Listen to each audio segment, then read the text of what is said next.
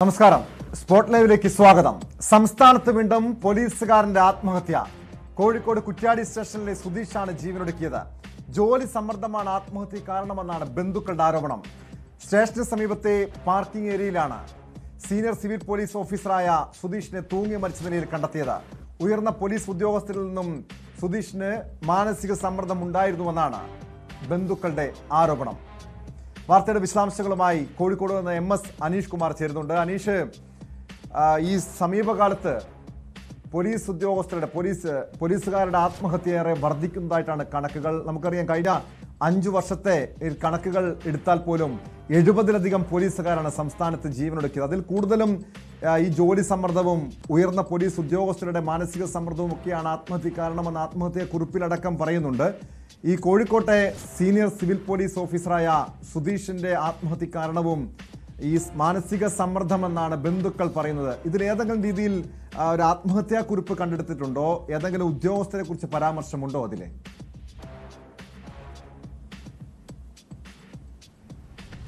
Tomo ഇത്തരത്തിൽ ആത്മഹത്യാക്കുറിപ്പോ അല്ലെങ്കിൽ മറ്റുദ്യോഗസ്ഥർക്കെതിരായ പരാമർശങ്ങളോ ഒന്നും ഇതുവരെ കണ്ടെടുത്തിട്ടില്ല എന്നാണ് നമുക്ക് മനസ്സിലാക്കാൻ കഴിയുന്നത്. ഒപ്പം ഈ ആത്മഹത്യ ചെയ്ത എം പി സുധീഷിന്റെ മൊബൈൽ ഫോൺ ലഭ്യമല്ല എന്നും പരാതികളുണ്ട്. എന്തായാലും ഇതടക്കമുള്ള കാര്യങ്ങളെക്കുറിച്ച് അന്വേഷിച്ച് വരികയാണ് എന്നാണ് പോലീസ് അറിയിച്ചിരിക്കുന്നത്. കഴിഞ്ഞ ഒരു രണ്ടാഴ്ചക്കുള്ളിൽ മാത്രം കൊച്ചി സിറ്റി പോലീസിന്റെ പരിധിയിൽ രണ്ട് ഉദ്യോഗസ്ഥർ ആത്മഹത്യ ചെയ്തിരിക്കുന്നു. ഒപ്പം തൃശ്ശൂരിൽ നിന്നുള്ള ഒരു പോലീസ് ഉദ്യോഗസ്ഥൻ കോഴിക്കോട്ടെ ഒരു കെട്ടിടത്തിന് മുന്നിൽ നിന്നും ചാടി ആത്മഹത്യ ചെയ്യുന്ന തരത്തിലേക്കും കാര്യങ്ങൾ നീങ്ങിയിരുന്നു. എന്തായാലും ഇന്നലെ വൈകുന്നേരമാണ് എം പി സുധീഷിനെ മരിച്ച നിലയിൽ പോലീസ് സ്റ്റേഷന് സമീപമുള്ള ഒരു കെട്ടിടത്തിന്റെ പാർക്കിംഗ് ഏരിയയിൽ കണ്ടെത്തിയത്. അതിനു മുമ്പ് ഇന്നലെ ഡ്യൂട്ടിക്ക് എത്തിയ ശേഷം പതിനൊന്ന് മണിയോടുകൂടി പോലീസ് സ്റ്റേഷനിൽ നിന്നും കാണാതായിരുന്നു. അധിക നേരമായി പോലീസ് സ്റ്റേഷനിലേക്ക് തിരിച്ചെത്താത്ത ഒരു സാഹചര്യത്തിൽ മൊബൈൽ ഫോണിലും മറ്റും ബന്ധപ്പെട്ട് ലഭിക്കുന്നുണ്ടായില്ല. ഇത്തരം സാഹചര്യത്തിൽ സഹപ്രവർത്തകർ ഇദ്ദേഹത്തെ അന്വേഷിക്കുന്നുമുണ്ടായിരുന്നു.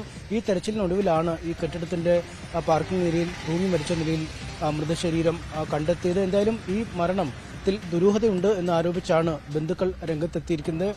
കാരണം ഈ മൊബൈൽ ഫോൺ ലഭ്യമല്ല.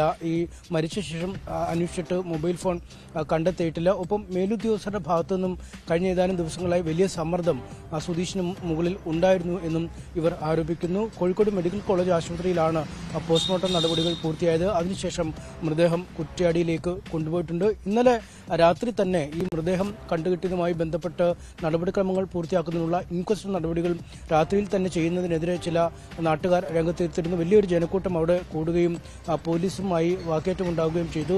ഉന്നത പോലീസ് ഉദ്യോഗസ്ഥരും ആർ ഡി ഒ അടക്കമുള്ള ആളുകളും എത്തിയ ശേഷം മാത്രമേ ഈ മൃതദേഹം ഇൻക്വസ്റ്റ് നടപടികൾ പൂർത്തിയാക്കുന്നതിനോ അല്ലെങ്കിൽ ആശുപത്രിയിലേക്ക് കൊണ്ടുപോകുന്നതിനോ അനുവദിക്കുള്ളൂ എന്ന നിലപാടിലായിരുന്നു നാട്ടുകാർ. പിന്നീട് ചർച്ചകളുടെ ഒടുവിൽ മൃതദേഹം രാത്രി പോലീസ് മേൽ നടപടികൾ പൂർത്തിയാക്കി. കുറ്റ്യാടി ആശുപത്രിയിലേക്കും അവിടെ നിന്ന് കോഴിക്കോട് മെഡിക്കൽ കോളേജ് ആശുപത്രിയിലേക്കും കൊണ്ടുവരികയായിരുന്നു. ഇപ്പോഴും എന്താണ് മരണകാരണം എന്ന് സംബന്ധിച്ച വ്യക്തയില്ല നമ്മൾ അന്വേഷണം നടത്തിയപ്പോൾ അല്ലെങ്കിൽ നമ്മുടെ ഒരു കാര്യങ്ങൾ ആരാഞ്ഞപ്പോൾ മനസ്സിലാക്കാൻ കഴിയുന്ന സംഭവം ഈ കുറ്റ്യാടി പോലീസ് സ്റ്റേഷൻ പരിധിയിൽ രജിസ്റ്റർ ചെയ്യപ്പെട്ട ഒരു ചിട്ടി തട്ടിപ്പുമായി ബന്ധപ്പെട്ട കേസ് അന്വേഷിക്കുന്ന പ്രത്യേക സംഘത്തിലെ ഒരു സംഘ അംഗമായിരുന്നു സുധീഷ് ഈ കേസ് കുറച്ച് നാൾ കുറച്ച് ദിവസങ്ങൾ പോലീസ് ലോക്കൽ പോലീസ് അന്വേഷിച്ച ശേഷം പിന്നീട് ക്രൈംബ്രാഞ്ചിന് കൈമാറുകയും ചെയ്തു. ഈ ക്രൈംബ്രാഞ്ച് ഉദ്യോഗസ്ഥർ സ്ഥലത്തെത്തി കേസ് ഏറ്റെടുത്തു. കേസിന്റെ പ്രാഥമിക വിവരങ്ങളൊക്കെ ആരാഞ്ഞിരുന്നു. അതിനുശേഷം സുതീഷിനോട് സുധീഷിനോട് കേസുമായി ബന്ധപ്പെട്ട ചില പ്രത്യേക രേഖകൾ തയ്യാറാക്കി നൽകുന്നതിന് ആവശ്യപ്പെടുകയും ചെയ്തിരുന്നു. ഈ ചുമതല ലഭിച്ചപ്പോൾ മുതൽ വലിയൊരു മാനസിക സമ്മർദ്ദത്തിലായിരുന്നു സുധീഷ് എന്നാണ് പോലീസിൽ നിന്ന് നമുക്ക് ലഭിക്കുന്ന വിവരം. അതിനുശേഷം സമ്മർദ്ദം അതിന്റെ പരകോടിയിൽ എത്തിയപ്പോൾ മറ്റ് സഹപ്രവർത്തകർ മറ്റുമൊക്കെ ഈ സുധീഷ് ഉണ്ടാകാനുള്ള കാരണം എന്തായിരിക്കും? കാരണം ഒരു ചിട്ടി തട്ടിപ്പ് കേസുമായി ബന്ധപ്പെട്ട് ഇതിന്റെ കേസിന്റെ അന്വേഷണം ക്രൈംബ്രാഞ്ചിന് കൈമാറുന്നു. അതിൽ ഒരു റിപ്പോർട്ട് സമർപ്പിക്കാൻ ക്രൈംബ്രാഞ്ചിന് ആ റിപ്പോർട്ട് സമർപ്പിക്കാൻ സുധീഷിനെ ചുമതലപ്പെടുത്തിയതിൽ എന്തായിരിക്കും ഒരു മാനസിക സമ്മർദ്ദം ഉണ്ടാകാൻ കാരണം? കാരണം ഏതെങ്കിലും രീതിയിൽ ഈ കേസ് അട്ടിമറിക്കാനുള്ള എന്തെങ്കിലും നീക്കം ആരുടെങ്കിലും ഭാഗത്ത് നിന്നുണ്ടായിരുന്നോ? അങ്ങനെ ഒരു സമ്മർദ്ദം ഉണ്ടായിരുന്നോ. അത്തരം എന്തെങ്കിലും ആരോപണം ബന്ധുക്കൾ ഉന്നയിക്കുന്നുണ്ടോ അനീഷ്?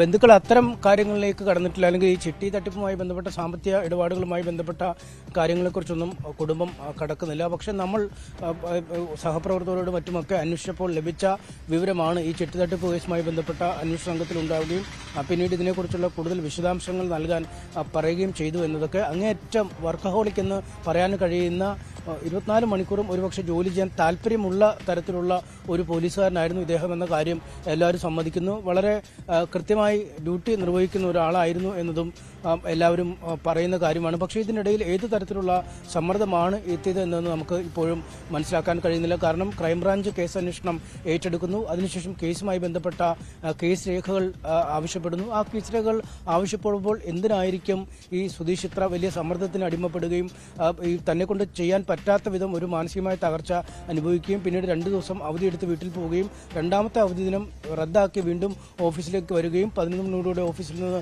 പുറത്തു പോയി സ്വയം ജീവൻ എടുക്കുകയും ചെയ്തു. ഇത് എന്താണ് ഇതിന്റെ പിന്നിൽ സംഭവിച്ചത് എന്നതിനെക്കുറിച്ച് ഇപ്പോഴും സഹപ്രവർത്തകർക്കടക്കം ഒരു വ്യക്തതയില്ല. ഒരുപക്ഷെ സമയബന്ധിതമായ കാര്യങ്ങൾ ചെയ്യാൻ കഴിയാത്തതുകൊണ്ടാണോ അല്ലെങ്കിൽ നേരത്തെ അന്വേഷണം നടന്നിരുന്നപ്പോൾ എന്തെങ്കിലും പിഴവുകൾ ഉണ്ടായതുകൊണ്ടാണോ അല്ലെങ്കിൽ വേറെ അനീഷ് അനീഷിലേക്ക് തിരികെ കാരണം പ്രധാനമായും ഈ സുധീഷിന്റെ ഫോൺ എവിടെ? എന്ന ഒരു ഗുരുതരമായിട്ടുള്ള ആരോപണം കുടുംബം ഉന്നയിക്കുന്നുണ്ട്. കാരണം ആത്മഹത്യാക്കുറിപ്പില്ല പിന്നെ ഈ കേസിൽ പ്രധാനമായും ഇനി അറിയേണ്ടത് ഒരുപക്ഷെ ഈ എന്തെങ്കിലും ദുരൂഹത ഉണ്ടോ? സുധീഷിന് ആത്മഹത്യ എന്തെങ്കിലും ദുരൂഹത ഉണ്ടോ എന്ന് അറിയണമെങ്കിൽ സുധീഷിന്റെ ഫോൺ കണ്ടെത്തണം. അതുമായി ബന്ധപ്പെട്ട വിവരങ്ങൾ കൂടി അനീഷ് ഒന്ന് തേടണം. പക്ഷെ അതിന് മുൻപ് ഇപ്പോൾ മുൻ പോലീസ് ഉദ്യോഗസ്ഥനായ ശ്രീ ജോർജ് ജോസഫ് കൂടി സ്പോട്ട് ലൈവിൽ തത്സമയം ചേരുന്നുണ്ട്. ശ്രീ ജോർജ് ജോസഫ് ഈ പോലീസുകാരുടെ ഇടയിലെ ആത്മഹത്യാ നിരക്ക് ഏറെ വർദ്ധിക്കുന്നുണ്ട്. പ്രത്യേകിച്ചും കഴിഞ്ഞ ഒരു അഞ്ച് വർഷത്തെ കണക്കെടുത്ത് നോക്കിയാൽ ഞെട്ടിപ്പിക്കുന്ന കണക്കാണ്. എഴുപതിലധികം പോലീസുകാരാണ് നമ്മുടെ സംസ്ഥാനത്ത് ആത്മഹത്യ ചെയ്തിരിക്കുന്നത്. അതിലേറ്റവും പ്രധാനമായും ഉയർന്ന പോലീസ് ഉദ്യോഗസ്ഥരുടെ മാനസിക സമ്മർദ്ദം ജോലി സമ്മർദ്ദം ഒക്കെയാണ് പലരും ആത്മഹത്യാക്കുറിപ്പിൽ ഈ ആത്മഹത്യ ചെയ്യാനുള്ളൊരു കാരണമായി എഴുതിയിരിക്കുന്നതും. ഈ കോഴിക്കോട് ഏറ്റവും ഒടുവിൽ കുറ്റ്യാടി സ്റ്റേഷനിലെ സീനിയർ സിവിൽ പോലീസ് ഓഫീസറായ സുധീഷിന്റെ ആത്മഹത്യ കാരണവും ഈ ജോലി സമ്മർദ്ദമാണ് എന്നാണ് ബന്ധുക്കൾ ആരോപിക്കുന്നത്. അത്തരമൊരു ജോലി സമ്മർദ്ദം ഇപ്പോൾ നമ്മുടെ സംസ്ഥാനത്തെ പോലീസ് സേനയിലുണ്ടോ? ജോലി സമ്മർദ്ദം തീർച്ചയായിട്ടും ഉണ്ടാവും. കാരണം ശ്രീ ജോർജ് ജോസഫ്. ഇപ്പോഴത്തെ പോലീസ് ഉദ്യോഗസ്ഥന്മാർ പലർക്കും പോലീസിൽ തല്ലി വയലൻസ് പൊതുജനം പൊതുവെ വയലൻസ് മൂവിലാണ് ഇപ്പോൾ. പോലീസിൽ വളരെയധികം ഉദ്യോഗസ്ഥന്മാർക്ക് സമ്മർദ്ദമുണ്ട്. കാരണം മേലുദ്യോഗസ്ഥന്മാർ അത് തന്നെയല്ല നിയമപരമായ പാണ്ഡിത്യക്കുറവ് കാരണം ഇപ്പൊ ഇവിടെ തന്നെ കുറ്റിയാടിയിലെ സുധീഷ് അദ്ദേഹം ആ കോടതിയിൽ കൊടുത്ത ചില റെക്കോർഡിന്റെ കോപ്പി പോലും എടുത്തു വെക്കാതെ കൊടുത്തു. പിന്നെ പോലീസ് എങ്ങനെ മുന്നോട്ട് പോകും? അതിനെ സംബന്ധിച്ച് ഡിവൈഎസ്പി ചോദ്യം ചെയ്തു ഇയാളെ അതിന്റെ ഭാഗത്ത് ഫോൾട്ട് ഉണ്ട്. കോടതി പേപ്പറെല്ലാം കോടതി കൊടുത്തൊക്കെ അതിന് തീർക്കുന്നതിന് ഫോട്ടോസ്റ്റാറ്റ് എടുത്തെങ്കിലേ നമുക്ക് പ്രൊസീഡ് ചെയ്യാൻ പറ്റുള്ളൂ. അവിടുത്തെ സർക്കിൾ ഇൻസ്പെക്ടർ ആ കേസിനകത്ത് അത് ഇയാളെടുത്ത് ചോദിച്ചു. അതിനുശേഷമാണോ പുള്ളിയുടെ ഭാഗത്തുള്ള അബദ്ധം അബദ്ധം പറ്റിയതാണോ എന്തോ അതിന് ചെറിയ ഡിപ്പാർട്ട്മെന്റ് നടപടി വരുമെന്ന് പേടിച്ചിട്ടായിരിക്കാം അദ്ദേഹം സൂയിസൈഡ് ചെയ്തത്. പൊതുവെ കഴിഞ്ഞ അഞ്ചു വർഷം കൊണ്ട് ഏകദേശം എഴുപതോളം പോലീസ് ഉദ്യോഗസ്ഥർ കേരളത്തിൽ ആത്മഹത്യ ചെയ്തിട്ടുണ്ട്. ആ ട്രെൻഡ് വളരെ കൂടുതലാണ്. അത് എല്ലാ റാങ്കിലും ഉണ്ട്. എങ്കിലും സിവിൽ പോലീസ് ഓഫീസേഴ്സാണ് കൂടുതലും കാണുന്നത്. എങ്കിലും നെയ്യാറ്റിങ്കര ഡിവൈഎസ്പി പ്രശ്നത്തിൽ നമുക്കറിയാമല്ലോ നെയ്യാറ്റിങ്കര ഡിവൈഎസ്പി അരികുമാർ അയാളുടെ വീട്ടിൽ കുറെ ദിവസം അബ്സ്കോണ്ട് ചെയ്തിട്ട് കല്ലമ്പലത്ത് അയാളുടെ വീടിന്റെ അടുത്ത് അവർ ചോദിച്ചു ആത്മഹത്യ ചെയ്തു. അതുപോലെ തന്നെ മുളന്തുരുത്തി പോലീസ് സ്റ്റേഷനിലെ ഒരു പോലീസുകാരൻ ഷൈനെ. ഷൈൻ ചുറ്റും ആത്മഹത്യ ചെയ്തിട്ടുണ്ട് പൂന്തറയും പൂജപ്പുരം പോലീസ് സ്റ്റേഷനിലെ രണ്ട് പോലീസുകാർ ആത്മഹത്യ ചെയ്തിട്ടുണ്ട് പിന്നെ ഒരു എസ് എച്ച് ഒ വാഴക്കുളത്തിലെ രാജേഷ് മേനോൻ സർക്കിൾ ഇൻസ്പെക്ടറാണ് അദ്ദേഹം ആത്മഹത്യ ചെയ്തു അപ്പൊ പൊതുവെ കുറെ വർഷങ്ങളായിട്ട് കേരളത്തിലെ ആത്മഹത്യയുടെ ട്രെൻഡ് പോലീസ് ഉദ്യോഗസ്ഥരിൽ കൂടുതലാണ്. അത് വിശദമായിട്ടൊന്ന് പഠിക്കേണ്ടിയിരിക്കുന്നു ഏതായാലും ഗവൺമെന്റ് പോലീസിലെ ഉത്തരവാദിത്തപ്പെട്ടവര് എല്ലാ ജില്ലകളിലും ഇനി എസ് പിമാരൊക്കെ ഉണ്ട്. അവരുടെ കീഴിലെ ഇന്റലിജൻസ് ഉണ്ട്. ഓരോ എസ് പിമാരുടെയും സ്പെഷ്യൽ ബ്രാഞ്ച് ഉണ്ട്. അപ്പൊ ഓരോ പോലീസ് സ്റ്റേഷനിലെ ഉദ്യോഗസ്ഥന്മാരുടെ സമ്മർദ്ദം ജോലിയിലുള്ള പ്രശ്നങ്ങൾ ചിലത് നമുക്കത് മനസ്സിലാക്കാൻ പറ്റും. സഹപ്രവർത്തകർക്ക് മനസ്സിലാക്കാൻ പറ്റും. അപ്പൊ അങ്ങനെയുള്ളവരെ ഒരു രഹസ്യമായിട്ടെങ്കിലും ഇന്റലിജൻസ് റിപ്പോർട്ടിന്റെ അടിസ്ഥാനത്തിൽ എസ് പിമാര് നമ്മുടെ ജില്ലാ ആശുപത്രിയിൽ എല്ലായിടത്തും മെഡിക്കൽ കൗൺസിലേഴ്സ് ഉണ്ട്. അവരെ പോയി എഫ് എച്ചോടെ അല്ലെങ്കിൽ ഇങ്ങനെയുള്ള ആൾക്കാരുടെ ലിസ്റ്റ് എടുത്തിട്ട് അവരെ പഠിച്ച് ആ സൂപ്രണ്ട് ഓഫീസിൽ തന്നെ ഒന്ന് വിളിച്ചു വരുത്തി അവർക്ക് ആ ടെൻഷൻ കുറയ്ക്കാം. കാരണം വല്ലയിടത്തും പോയി നമ്മളൊരു കൗൺസിലിംഗ് കൊടുത്തിട്ട് കാര്യമില്ല. എസ് പിയുടെ ഓഫീസിന്റെ അവിടുത്തെ ഒരു മുറി തന്നെയാണെങ്കിൽ എസ് പി മുഴുവൻ അറിഞ്ഞിട്ടാണ് ഇതൊക്കെ വരുന്നത്. അതുകൊണ്ട് അങ്ങനത്തെ ഒരു ആശ്വാസം. അത് ആ മെന്റൽ ടെൻഷൻ ശബ്ദം കുറയും.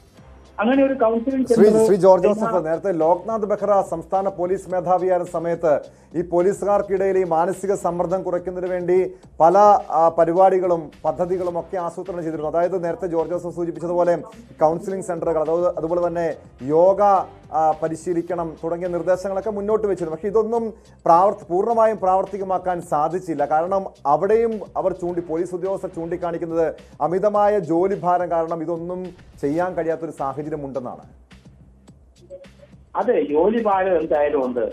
അത് ട്വന്റി ഫോർ അവേഴ്സ് ജോലി. അത് കഴിഞ്ഞാൽ റെസ്റ്റ് കൊടുക്കുന്നുണ്ട്. അതിനവര് മാനസികമായിട്ടും ശാരീരികമായും തയ്യാറാക്കുന്ന ട്രെയിനിങ് സിസ്റ്റമാണ് പോലീസിലുള്ളത്. അപ്പൊ അത് ആ- ഒരു കാര്യത്തിൽ ഒരു ടെൻഷൻ കൂടുതലാണെന്ന് പറഞ്ഞാൽ എനിക്ക് അത്ര തോന്നില്ല. കാരണം ഇതെല്ലാം നമ്മൾ പ്രതീക്ഷിക്കണമല്ലോ. അവരൊക്കെ പ്രതീക്ഷിച്ചുകൊണ്ടാണ് ജോലി ഈ ജോലി തെരഞ്ഞെടുക്കുന്നത്. കാരണം രാത്രി ഒന്നും സ്വസ്ഥമായിട്ട് നമുക്ക് ഒരു കാര്യം ചെയ്യാൻ പറ്റില്ല. നൈറ്റിൽ കുറച്ചധികം ഡ്യൂട്ടിയൊക്കെ ഉണ്ടാവും.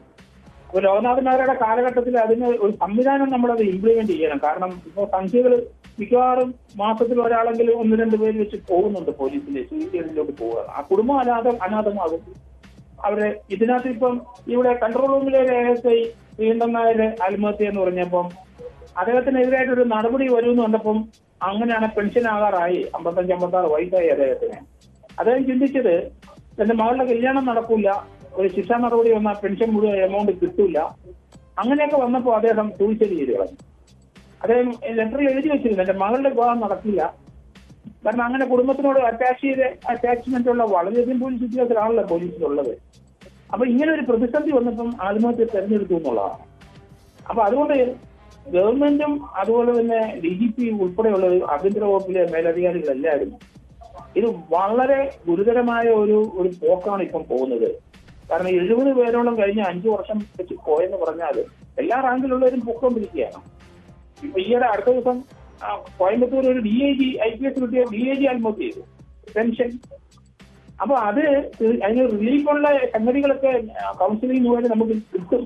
അപ്പൊ ആ രീതിയിലോട്ട് പോലീസ് ഇനി വരണം. അത് തന്നെയല്ല പോലീസ് സ്റ്റേഷനിൽ എല്ലാ പോലീസ് സ്റ്റേഷനിലും ഇപ്പം ജനങ്ങൾ വളരെ വയലന്റ് ആണ്. പോലീസുകാർക്ക് നല്ലതായിട്ട് തല്ല് കിട്ടുന്നുണ്ട്.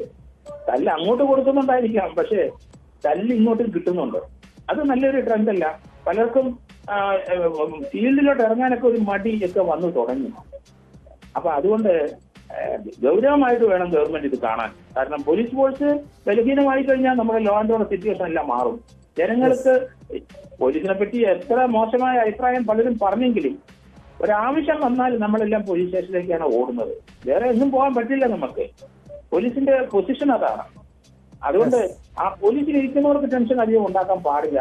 കഴിവുള്ളിടത്തോളം അവരെ വളരെയധികം നന്ദി ശ്രീ ജോർജ് ജോസഫ് മുൻ പോലീസ് ഉദ്യോഗസ്ഥനാണ് ഇപ്പോൾ സ്പോട്ട് ലൈവിൽ ആ, അദ്ദേഹത്തിന്റെ ഒരു നിരീക്ഷണം പങ്കുവച്ചത്. അതായത് ഈ രീതിയിലുള്ള ജോലി സമ്മർദ്ദം മുൻപും ഉണ്ടായിരുന്നു. ജോർജ് ജോസഫൊക്കെ ജോലി ചെയ്തിരുന്ന സമയത്തും കാലത്തും ഈ രീതിയിലുള്ള ജോലി സമ്മർദ്ദമൊക്കെ ഉണ്ടായിരുന്നു. പക്ഷേ എന്തായിരിക്കാം ഇപ്പോൾ ഈ രീതിയിൽ പോലീസുകാർക്കിടയിലെ ആത്മഹത്യാ നിരക്ക് വർദ്ധിക്കുന്നത് എന്നത് സർക്കാർ ഏറെ ഗൗരവത്തിൽ കാണേണ്ടതാണ് പഠിക്കേണ്ട ഒരു വിഷയമാണ്. ഈ വിഷയത്തിലൊരു കൃത്യമായ ഒരു പരിഹാരം കാണേണ്ടതാണെന്നാണ് ജോർജ് ജോസഫ് മുന്നോട്ട് വെച്ചി- വെച്ചിരിക്കുന്ന നിർദ്ദേശം. വീണ്ടും എം എസ് അനീഷ് കുമാറിലേക്ക് കോഴിക്കോട്ടേക്ക് പോവുകയാണ്. അനീഷ് ഏറ്റവും സുപ്രധാനമായിട്ടുള്ളൊരു കാര്യം ജോർജ് ജോസഫ് ഉൾപ്പെടെ പങ്കുവച്ചത് പല രീതിയിലുള്ള ആശങ്കകൾ പോലീസുകാർക്കിടയിലുണ്ട്. ഏതെങ്കിലും ജോലിയിലൊരു പിഴവുണ്ടായാൽ അവർക്കെതിരെ ഇപ്പോൾ നടപടി ഉണ്ടാകുന്ന പ്രവണത കൂടിയിട്ടുണ്ട്. കാരണം സാധാരണ മറ്റ് മേഖലകളിലുള്ള ആളുകൾ സർക്കാർ മേഖലയിലുള്ളവർ ഒരു കൈക്കൂലി വാങ്ങിയാൽ പോലും ആറു മാസത്തിന് ശേഷം തിരികെ ജോലിയിൽ പ്രവേശിക്കുന്നു. പക്ഷേ ഒരു പോലീസുകാരന്റെ ഭാഗത്ത് ചെറിയൊരു പിഴവുണ്ടായാൽ പോലും അവർക്കെതിരെ നടപടി സസ്പെൻഷൻ ഈ സമീപകാലത്താണ് പോലീസുകാരെ സേനയിൽ നിന്നും ജോലിയിൽ നിന്നും തന്നെ പിരിച്ചുവിടുന്ന സംഭവങ്ങളൊക്കെ ഉണ്ടാകുന്നത്. അതായത് അങ്ങനെ ഈ സുധീഷിനെ സംബന്ധിച്ച് അത്തരം ഏതെങ്കിലും വീഴ്ചകൾ ജോലിക്കിടയിൽ എന്തെങ്കിലും വീഴ്ചകൾ ഉണ്ടായിരുന്നോ? അതുമാത്രം അതല്ലെങ്കിൽ മറ്റ് സമ്മർദ്ദം ഉണ്ടായിരുന്നോ? അങ്ങനെ എന്തെങ്കിലും ഒരു കൃത്യമായ അദ്ദേഹവുമായ അറിവുള്ളവർ അങ്ങനെ എന്തെങ്കിലും കാര്യങ്ങൾ പങ്കുവെക്കുന്നുണ്ടോ? പ്രത്യേകിച്ചും ഈ ഫോൺ സുധീഷിന്റെ ഫോൺ എവിടെയാണ് എന്ന കാര്യത്തിൽ ഇപ്പോഴും ഒരു വ്യക്തതയില്ല.